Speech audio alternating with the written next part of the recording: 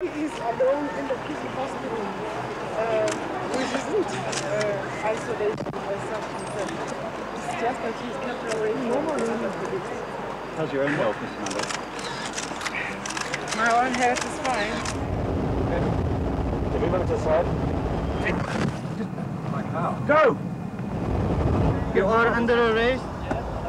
You might please. Uh, I said don't touch me. I told you that you are under arrest. I'm not hurting a child. You are hurting this child. You may come with me, please. I am coming out of my home. Come, Don't get me out of the car. I'm waiting for you. Don't touch me. Right, I'm waiting for I you. told you I don't even know whether you have got AIDS. Stop touching me. You are dragging Right. my grandchild out of the I car. don't have AIDS.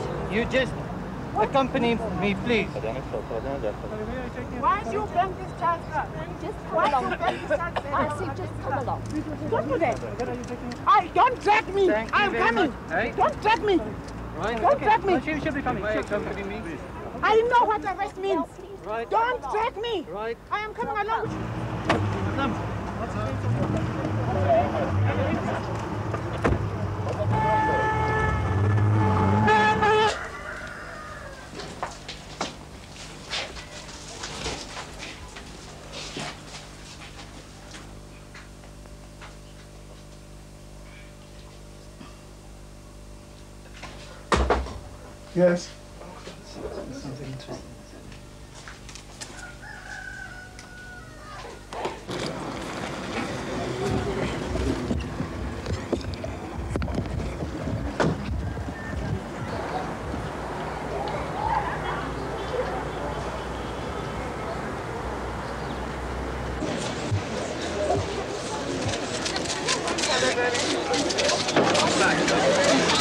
Come on. Are you going back to Soweto?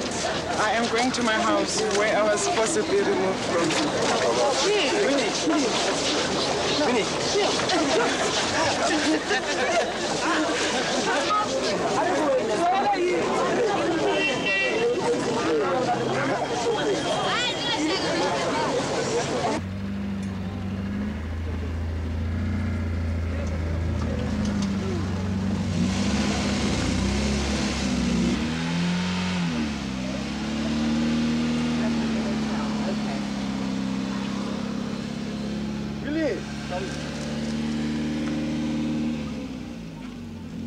Christmas has ceased to be of any specific meaning to the oppressed people of this country, um, particularly in the past uh, 10 years since 1976.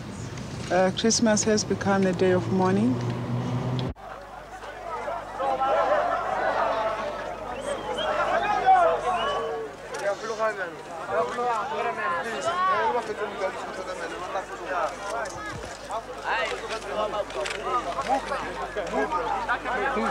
You, the workers of this land, you, the mothers of this country, you are gathered here as testimony to the effect that you are the rightful owners of this land.